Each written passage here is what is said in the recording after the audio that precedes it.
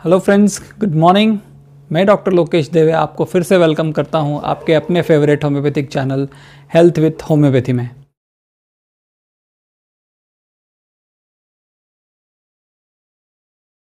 Friends आज के episode में मैं आपको बताऊँगा कि क्या है होम्योपैथिक डाइल्यूशंस और क्यों होम्योपैथिक डाइल्यूशंस को डॉक्टर हैनीमैन ने इंक्लूड किया। और किस तरह से वो बहुत ही ज़बरदस्त रिज़ल्ट देते हैं और साथ में डॉक्टर बर्नेट का ट्वेंटी थर्ड रीज़न।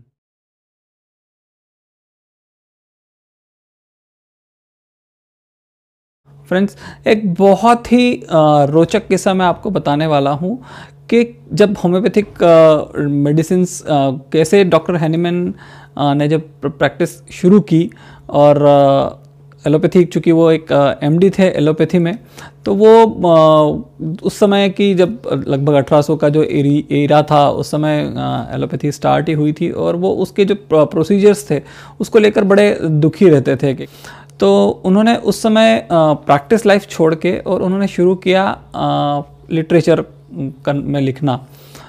चूँकि वो बहुत अच्छे लिंग्विस्टिक थे लगभग सत्रह लैंग्वेजेस की उनको जानकारी थी तो उन्होंने लिखना शुरू किया और वो ट्रांसलेट कर रहे थे, ऐसे ही एक समय एक क्यूलन मटेरिया मेडिका ट्रांसलेट कर रहे थे। वहाँ उन्होंने पढ़ा चाइना का इफ़ेक्ट जब किसी हेल्दी ह्यूमन बींग को देते हैं तो उसको ठंड लग के बुखार आता है सिंकोना बार्क का। और वही दवाई जो है वो मलेरिया के ट्रीटमेंट में यूज़ हो रही थी। तो उनको वो चीज़ समझ में नहीं आई। तो उन्होंने पहले, सबसे पहले खुद पे एक्सपेरिमेंट किया और वाकई जब कुछ दिन उन्होंने लगातार सिंकोना बार्क ली तो उन्हें ठंड लग के बुखार आना शुरू हो गया। तब उन्हें लगा कि यार, ये तरीका जो है वो जो natural nature's way of cure है तो उन्होंने उसको सोचा कि क्यों ना इसको लगभग हर बीमारी के उपयोग में लागू किया जाए।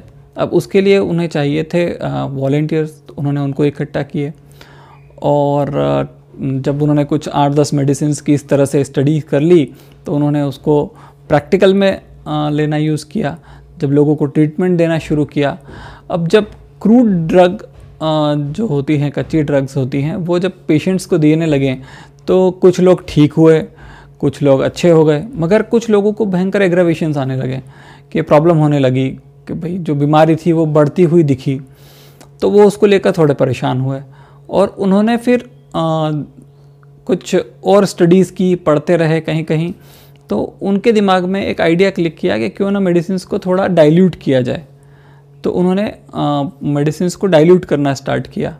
तो जब डाइल्यूट करना स्टार्ट किया तब भी कुछ मेडिसिन के रिजल्ट्स मिलते रहे और उसके बाद आ, कुछ समय और प्रैक्टिकल करते करते करते करते करते करते वो थियोरी ऑफ़ ड्रग डायनामाइजेशन लेकर आए जिसमें कि मेडिसिन को पोटेंसी इस तरह से बढ़ाई जाए कि उसको इत, इस व्यवस्थित तरीके से मिक्स किया जाए, एक सिस्टमेटिक तरीका जिसमें उसको मिक्सिंग भी हो और उसका मेडिसिन का पावर भी बढ़े।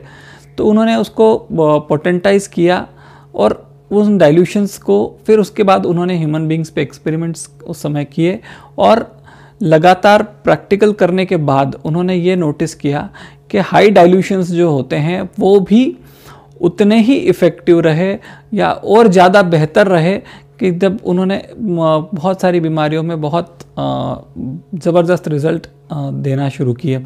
तो समान से समान की चिकित्सा, ये हमारा जो नेचर्स लॉ ऑफ़ क्योर है, उसके बाद डाइल्यूशन मेडिसिन को इतना कम किया जाए ताकि उनका कोई साइड इफ़ेक्ट ना रहे, है ना? और इसके बाद थ्योरी ऑफ़ पोटेंटाइजेशन ताकि जो मेडिसिन डाइल्यूट हो रही है वो पतली हो रही है या उसकी मात्रा कम हो रही है मगर उसका इफ़ेक्ट हमें उतना ही मिले जितना आ, हम एक क्रूड ड्रग में रहते हैं। Twenty third reason for being homeopath by doctor Burnett का हम रीज़न जो है वो इसी पर बेस्ड है कि बहुत सारे लोग या बहुत सारे फिजिशियंस भी हाई डाइल्यूशंस को एक्सेप्ट नहीं करते हैं।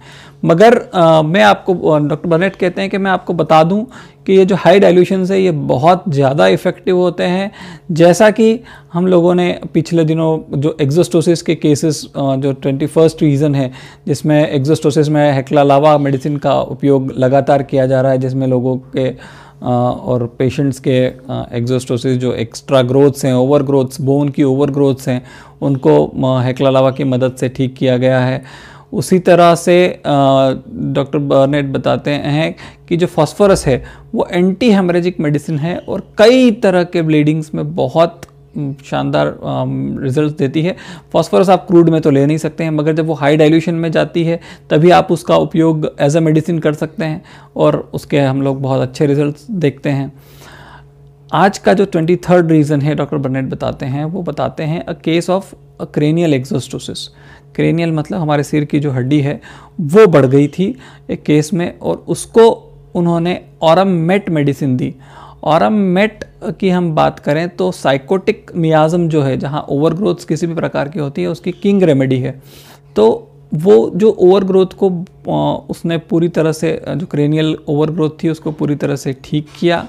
और ऐसे बहुत सारे एग्जाम्पल्स अब तो लगभग 250 साल हो गए हैं, होम्योपैथी को चलते हुए, उपयोग करते हुए। तो ऐसे बहुत सारे ओवर ग्रोथ्स हैं, बहुत सारी ब्लीडिंग्स हैं, बहुत सारी प्रॉब्लम्स हैं जहाँ होम्योपैथी मेरेकल दे रही है। तो मैं आपके साथ में लगातार जुड़ा हुआ हूँ और आपको होम्योपैथी के बारे में अपडेट कर रहा हूँ। अगर आपने अभी तक भी मेरा इस चैनल को सब्सक्राइब नहीं किया है तो सबसे पहले जाएँ सब्सक्राइब करें लाइक करें और लोगों के साथ शेयर करें, ताकि एक होम्योपैथी के लिए जो अवेयरनेस है, हम उसे क्रिएट कर पाएँ। Till then see you soon नमस्कार